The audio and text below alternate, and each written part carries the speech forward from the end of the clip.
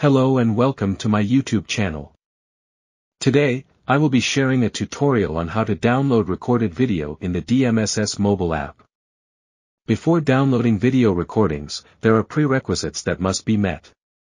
First, you have installed the DMSS application. Second, you have added Dahua device with recorded footage to DMSS app. Now let's start the steps. First of all, open the DMSS application. From the device screen of DMSS, tap on Playback. Then tap on the empty video channels.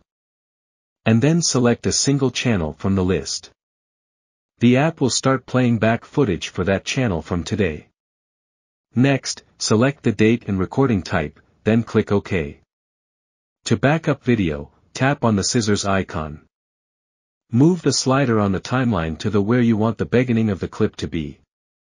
Then tap on the play icon. Move the slider on the timeline to the where you want the end of the clip to be. Then tap on the stop icon. It will ask if you are sure you want to save the video clip. Then tap on OK. Once it says, downloading video record, tap on the home icon at the top. Next, tap on me at the bottom. Then tap on My Files. Select the video clip you just added.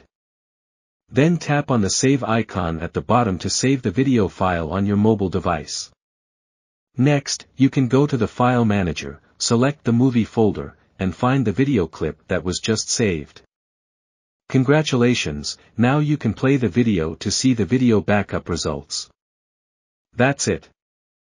How to download recorded video in the DMSS mobile app. We hope this video has been helpful for you. If you have any questions, feel free to ask in the comments section below. Please remember to subscribe to my channel, give it a thumbs up, and share it with your friends on social media. Thank you for watching, and see you in the next video.